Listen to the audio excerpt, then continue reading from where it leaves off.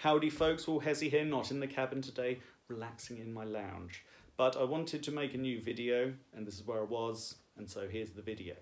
So, two parts to this one. Number one, I wanted to show you this cool new Danelectro that I've just picked up. Check this colour out.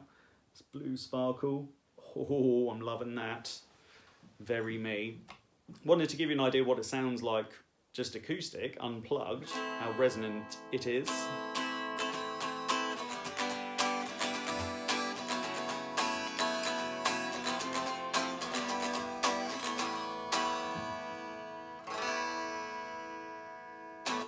Really pleasantly surprised with that one. Sounds great, feels great.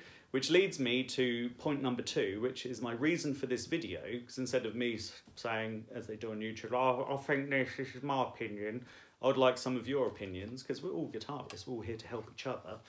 We should take an opinion on, but it doesn't mean it's the right opinion for you. Let's share some thoughts here. Is there a guitar, a guitar brand, a guitar model that you've played or never played because you've been under the impression that it wasn't going to be a very good guitar. Um, something that you thought wasn't going to give you the right sound that you want, or just looked like it wasn't very playable instrument, a bit basic. Um, because for me, the, the Danelectro um, kind of represents that a little bit for myself. Um, I've never kind of played the odd one here and there, but never thought it would be a guitar could, I could gig this and use it for anything. Um, I must say though, having spent a bit of time with this one, I'm very wrong in that. I'm quite impressed with how well it plays and the kind of sounds that we can get out of it. Um, I think is helped certainly by the bridge. You can see there we've got a wraparound bridge, sort of like Jimmy Page had on his one back in the day. I think helps with playability. But this one, great with chords, open chords, bar chords. But things like bending and soloing, it's not like a slow guitar at all, feels fast to play. I mean, you've got a little bit, um, should really do this in a review, but a little bit of a hindrance here, because if we're kind of moving up the neck, your hand is going to hit this bit. So it's a bit tricky to get up to that fret there. But that said, you know, it's it's still an awesome playable guitar and does the job really fine and looks really good. So that is the question I want to pose to you. Is there something you've come across, like a Danelectro, where you thought, no, I don't think that's really going to tick the boxes for me, but you've played it, uh, you've seen someone else play one, and for some reason thought, wow, okay, it seems like it could actually be really good.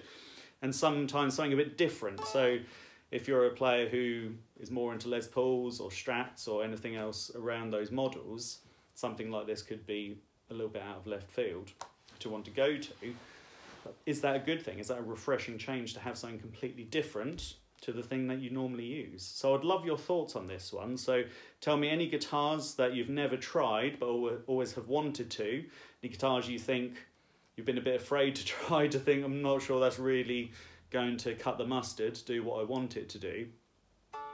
And let's see what we have going on there. I'd love to hear your thoughts on that one. Um, apart from this one, another guitar I'd love to give another try, uh, some Rickenbackers, because I always thought they looked awesome. My dad had uh, like a Jam Greatest Hits on, that means vinyl, 12 inch vinyl.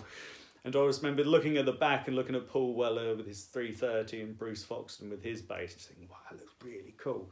Then I tried a, a, copy of a Rickenbacker and it really wasn't cool. But then, was it because it was a cheap copy and it wasn't a very good guitar anyway?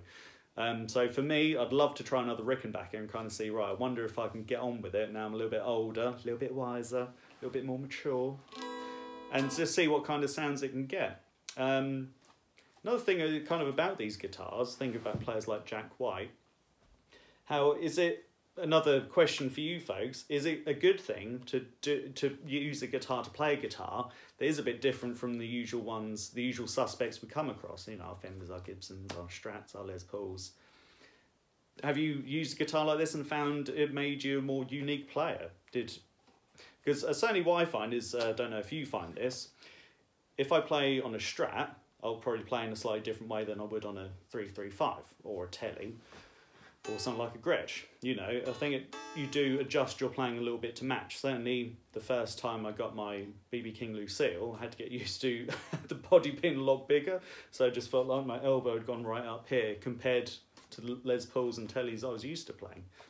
So do you think that's a positive thing to do, to use something that is different? I'd love you to let me know. So please comment down below. Um, like. If you haven't already please subscribe. The numbers are coming up. I've been a bit quiet lately but people have still been subscribing so i appreciate that. Been very busy. Got a new project on the go at the minute. I'll leave a little link for that down below. Yeah let me know what you think what your thoughts are. Um, do you think i'd get on with the rickenbacker? Let me know that. I really need to know. Okay but let me know what you think. That's the important thing. And i hope you folks have an awesome day doing some playing. I'll catch you later and happy twanging